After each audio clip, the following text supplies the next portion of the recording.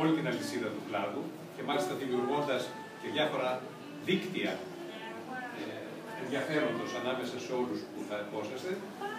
ώστε να έχετε την τεχνική πληροφόρηση